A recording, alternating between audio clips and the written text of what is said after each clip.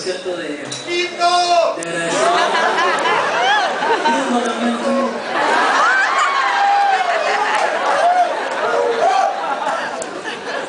Está el tema de la tolerancia, pues.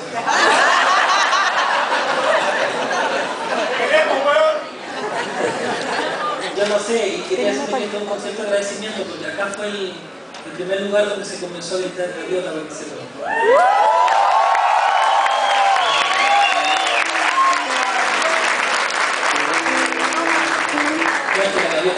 Más importante de la vida, pero...